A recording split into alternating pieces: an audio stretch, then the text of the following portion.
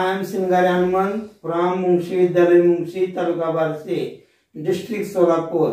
Today I am sharing with you W H question framing म्हणजे questioning skill questioning skill याच्या अगोदरच्या दोन व्हिडिओमध्ये आपण प्रश्न कौशल्य पाहिलेलं आहे. व्हर्बल क्वेश्चन पाहिलेले आहे. Verbal how to frame verbal question or yes no question Today we will learn how to frame WH questions. WH questions means the questions we start with WH word. WH word means this WH word. What, when, where, why, which, who, whom, whose, how, how many, how much, how far, how long and how often. These are W H word W means W ने सुरू होणारे आणि H ने सुरू होणारे H हा. These are W H word असंही म्हणू शकता तुम्ही. हे असं नव्हे. डब्ल्यू एच वर्ड असं नाही. तर डब्ल्यू आणि एच ने सुरू होणारे शब्द प्रश्न. त्याला डब्ल्यू एच वर्ड किंवा डब्ल्यू एच फॅमिली वर्ड म्हणायचं ह्याला दीज आर फोर्टीन वर्ड किती आहेत? फोर्टीन आहे. फोर्टीन चौदा फोर्टीन वर्ड्स तर याने सुरू आहे this sentence this question start with W H word and answer this question have informative answer याचं माहितीवाला उत्तर असतं. हा. आणि नियम जे आपण व्हर्बल क्वेश्चनला बनवताना जो नियम आहे प्रोनाऊनच्या बाबतीतला तोच नियमित वापरायचा आहे. प्रथम पुरुषी सर्वनाम द्वितीय पुरुषी सर्वनामामध्ये योग्य बदलायची. आय वी मी असच्या ऐवजी आपण यू घ्यायचंय आणि माय आवरच्या ऐवजी इवर लिहायचंय. म्हणजे प्रथम पुरुषी सर्वनाम आणि त्यांची रूप द्वितीय पुरुषी सर्वनामामध्ये बदलायची आहेत. तृतीय पुरुषी सर्वनामाचा काही बदल करायचा नाही. दुसरा महत्त्वाचा नियम म्हणजे वाक्यात हेल्पिंग वर्ब नसेल तर. म्हणजे टू बीचं रूप वाक्यात टू बीचं रूप नसेल टू हॅवचं रूप नसेल मॉडल ऑब्झलरी नसेल तर वाक्याच्या काळानुसार डूचे योग्य ते रूप घ्यावे. डूचे रूप. हा वाक्यात जर हेल्पिंग वर्ब नसेल तर वाक्याचा काळ त्या सिंपल प्रेझेंट टेन्स किंवा सिंपल पास्ट टेन्सच असतो. दोन्हीपैकीच असतो. वाक्यामध्ये हेल्पिंग वर्ब म्हणजे टू बीचं रूप am is are was were नसेल शॅल बी विल बी नसेल किंवा हॅव हॅज हॅड नसेल डो डज डीड नसेल म्हणजे डिडंट डझंट डोंट हे वगैरे नसतील. आणि can could will would shall should may might must हे मॉडल ऑक्झिलरी नसतील तर त्या वाक्याचा काळ सिंपल पास्ट प्रेझेंट टेन्स किंवा सिंपल पास्ट टेन्सच असतो. आणि सिंपल प्रेझेंट टेन्स असेल तर डू डज वापरायचं तिथं क्रियापदाच्या रूपानुसार. आणि सिंपल पास्ट असेल तर डीड वापरायचं. आणि पुढचा महत्त्वाचा नियम डूचं रूप वापरल्यानंतर एम व्ही म्हणजे मेन व्हर्बला मध्ये योग्य तो बदल करायचा. डीड वापरलं की तिथला भूतकाळी रूप मेन रूप ठेवायचंय डज वापरलं की ही मेन रूपच ठेवायचंय पहा. आणि मग कसे प्रश्न बनवायचे पा डब्ल्यू एच वर्डची डब्ल्यू एच क्वेश्चनची रचना अशी होते.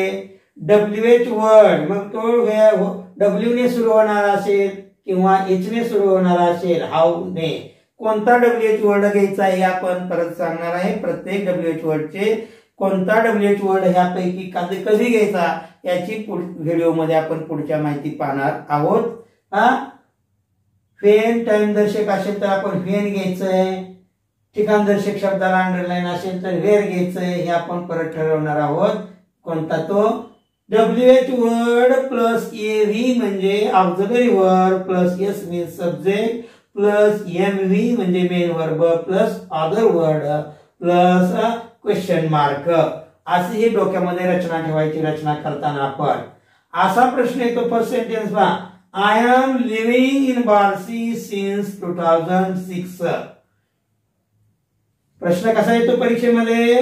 Frame W H question to get part part an answer. Answer part म्हणजे अधोरेखित केलेला भाग. दिस इज अंडरलाइन्ड पार्ट हे उत्तर येण्यासाठी डब्ल्यू एच क्वेश्चन तयार करा. डब्ल्यू एच क्वेश्चन तयार करा अंडरलाईन पार्ट आता ज्यावेळी आपण प्रश्न तयार करत असतो त्यावेळी हे अंडरलाईन केलेला भाग तुमच्या प्रश्नामध्ये येणार नाही. कारण हेच उत्तर आपल्याला यायचं असतं. मग आपण अंडरलाईन केलेला भाग पाहिल्यानंतर कोणता डब्ल्यूएच वर्ड घ्यायचा आहे? हे बघायचंय. मग आता इथं बघा. इन बारसी इन बारसी म्हणजे हे प्लेस दर्शवत आहे म्हणजे प्लेस म्हणलं की आपण वेअर शब्द घेतो? प्लेस प्रेपोजिशन वर जायचं नाही. प्रेपोजिशन इन आहे म्हणून आपण इन प्रेपोजिशनमध्ये टाइममध्ये येतं. आणि इन प्रेपोजिशन प्लेस मध्ये येतं. याच्यानंतर जर नाऊन आलं तर म्हणजे ठिकाण प्लेस आलं तर आपण वेर घ्यायचं. आणि याच्यानंतर जर टाइम दर्शक शब्द आला तर आपण वेन घेत असतो. हे परत त्या व्हिडिओमध्ये आपण पाहू. तर पहा मग काय केलं? वेअर घेतला. फेअर ऐका फेअर डब्ल्यूच वर्ड घेतला याच्याप्रमाणे. एव्ही यातलंच एव्ही यातलं आता आपण आयच्या ऐवजी यू घेणार आहे म्हणून इथं प्रोनाऊन आपला वर्ब बदललेला आहे. आय आहे म्हणून एम आहे. यू घेतलं की आर झालं.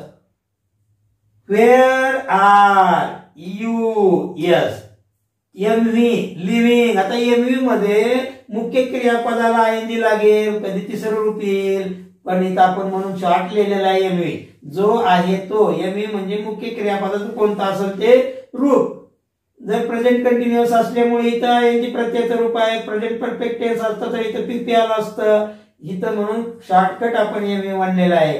Living since two thousand six हे अदर वर्ड आहेत आणि क्वेश्चन मार्क उत्तर where are you living since two thousand six मग याचं उत्तर हे आलं इन बारसी इन बारसी जर अंडरलाईन ह्याला असते याला अंडरलाईन असते. तर प्रश्न काय आला असता मग आपण फेन घेतला असता. एक टाइम दर्शक फ्रेज आहे. वेन आर यूज आता सिन्स वेन सिन्स वेन ज्यावेळी असतं हे सिन्स असतं. त्यावेळी आपण सिन्स हे ऍडव्हर्ब आपण सुरुवातीलाच घ्यायचं असतं. Since when you are living in Barshi since when you are living in Barshi असं आलं असतं. आणि हे लक्षात ठेवा. Where are you living in living since two thousand six in Barshi आता पहा Ajay writes his homework on Sunday on संडेला अंडरलाईन आहे हीच सूचना इथं आहे आता underline part frame W question to get underline part as an answer प्रत्येकाला मी सूचना लिहिलेली नाही ही सूचना समजा आता पहा अंडरलाईन कशाला आहे ऑन संडे टाइम दर्शक आहे म्हणून आपण कशाला अंडरलाईन करायचं? म्हणजे कोणता वर्ड घ्यायचा आहे? टाइम असलं की वेन घ्यायचं. वेन डब्ल्यूच वर्ड फेन याच्यामध्ये सहाय्यकारी क्रियापद आहे का? पा नाही. नसेल की काळ वर्तमान काळ किंवा भूतकाळ पैकीच असतो. इथं सिंपल प्रेझेंट टेन्स आहे. ते लागलंय म्हणजे. म्हणून डूचं रूप आपण डज घेतलंय. पेन डज अजय राईट इथं डज घेतल्यामुळे इथला यस निघून गेला. इथं एम आला. His homework pen does Ajay write his homework पुन्हा इथं यस लिहायची चूक करायची नाही. नियम तिथं दिलेला आहे. याच्याप्रमाणे आले का पहा. W word A V S M V other word question mark असा प्रश्न म्हणजे सहकारी क्रियापद असताना आणि क्रियापद नसतानाही आपण पाहिलं. आता पुढे पहा महत्त्वाचा. टू बी आणि टू हॅवचं रूप. ए व्ही म्हणून जर उपयोग केला असेल तर डब्ल्यू एच क्वेश्चनची रचना अशी येते. यांचं वैशिष्ट्य आपण पाहिलेलं आहे. To be and to have to be to have to do these are semi modern auxiliaries त्यांचा बिकॉज त्यांचं वैशिष्ट्य काय? They are use A V as well as M V त्यांचा मुख्य क्रियापद आणि सहाय्यकारी क्रियापद म्हणूनही उपयोग केला जातो. आणि मग इथं जर त्या टू बीच्या रूपाचा किंवा टू रूपाचा एम व्ही म्हणून उपयोग केला तर मात्र डब्ल्यू एच क्वेश्चन तयार करताना रचना बदलते. कशी होते डब्ल्यू एच वर्ड कोणता असेल ते. डब्ल्यू ने सुरू होणारा किंवा एच ने सुरू होणारा कोणता असेल तो W H word plus PA PA आता इथं पीए काय म्हणजे प्रायमरी ऑक्झलरी म्हणजे टू बी चं रूप येईल किंवा टू चं रूप येईल. कोणता असेल ते. प्लस यस ऑब्लिक सी हे ऑब्लिक आहे. यस ऑब्लिक ऑब्लिक म्हणजे हे किंवा हे. S means subject and C म्हणजे कॉम्प्लिमेंट पूरक. Plus other word plus question mark अशी रचना होईल लक्षात ठेवा. हे दोन्ही सूत्र लक्षात ठेवायची. मग first sentence my father is a farmer सूचना तीच frame W H question to get underline part as answer इथं अंडरलाईन कशाला आहे? पेशाला आहे. पेशा व्यवसाय प्रोफेशन आहे नाही? जॉब म्हणून आपण व्हॉट घेतलं? वाट इथं इज आहे हे एम म्हणून आलेलं आहे. वाट इज युअर फादर माहितीवर झालं. वाट बघा डब्ल्यू वर्ड पी ए म्हणजे हे इज यस म्हणजे हे कॉम्प्लिमेंट आहे. Your father my father is त्याला हे बोलल्याशिवाय याचा अर्थ पूर्ण होत नाही म्हणून याला आपण कॉम्प्लिमेंट म्हणतो. हे सब्जेक्ट कॉम्प्लिमेंट आहे. तो भाग वेगळा आहे. पण लक्षात ठेवा. डब्ल्यू एच वर्ड हा झाला त्यानंतर एपीए आणि हे कॉम्प्लिमेंट याच्यात अदर वर्ड नाहीत असले तरच येणार आणि क्वेश्चन मार्क तर ही अशी रचना. दुसरे सेंटेन्स पहा. आय हॅव टू ब्रदर्स आता तर टू ला अंडरलाईन आले. जर आकड्याला अंडरलाईन आली नंबरला तर आपण हाऊ मेनी शब्द घ्यायचा? डब्ल्यूच वर्ड कुठला घ्यायचा? हाऊ मेनी म्हणजे किती संख्या.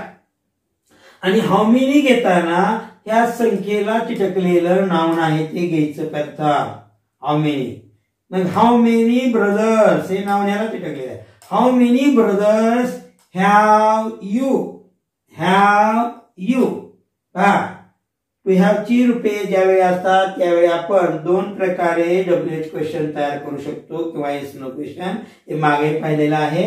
दुसरं how many brothers do you have do ची वापरून किंवा न वापरता दोन्ही प्रकारे आपण क्वेश्चन फ्रेम करतो. का? हा सिंपल प्रेझेंट टेन्स आहे. General present tense sorry general present tense of to have हा टू सामान्य वर्तमान काळ आहे. म्हणून इथं आपण डूचं रूप वापरलेलं आहे. काय? मुख्य रूप वापरलेलं आहे. आणि मग इथं पुढे हॅव घेतलेलं आहे. How many brother do you have रचनेप्रमाणे W H word हा आकड्यावरची टकलेलं असले ते. हे ए व्ही पुन्हा एस आणि परत M V S plus M V ठीक आहे नाही ए व्ही एम व्ही दोन्ही प्रकारे चालतंय म्हणून इथे घेतली रचना इथे लिहिलेली नाही. हे स्पोकनमध्ये आपण लिहितो. स्पोकनमध्ये असं चालतं. अशा प्रकारे स्पोकनमध्ये प्रश्न विचारायचा. How many brothers have you आपण आणि रिटर्नमध्ये how many brothers do you have generally वर्गामध्ये टीचर म्हणत असतात have you your books do you have your books म्हणणं म्हणता have you your books have you extra pen असं कोकणमध्ये बोलत असतो. की अमेरिकन इंग्लिश आणि ब्रिटिश इंग्लिशमध्ये फरक आहे. अमेरिकन डूची रुपये वापरतात. म्हणजे ब्रिटिश पीपलचे रूपे रुपये वापरत नाही ते असं असो आता English is not a foreign language ते आता फॉरेन राहिलेलं नाही वी आर स्पीकिंग इंग्लिश नम course of people speaking English in our nation so English is no more a foreign language so so we have to make our own rules आपण आपले स्वतःचे नियम धरायचे आता. ब्रिटिशांचे रूल आणि अमेरिकन लोकांचे लोक त्यांची काय मक्तेदारी नाही. स्पोकनला हे वापरा रिटर्नला हे वापरा. बरोबर आहे रिटर्नमध्ये. तर ओके आता यावेळी त्यानंतर आपण प्रत्येक ह्या डब्ल्यू एच वर्डचे कसे प्रश्न तयार करायचे हे व्हिडिओमध्ये पुढच्या पाहू. तर विद्यार्थी मित्र आणि तुम्ही असेच नवीन व्हिडिओ पाहण्यासाठी माझ्या चॅनलला सबस्क्राईब करा व्हिडिओ मित्रांना शेअर करा लाईक करा कमेंट्स करा. Thank you very much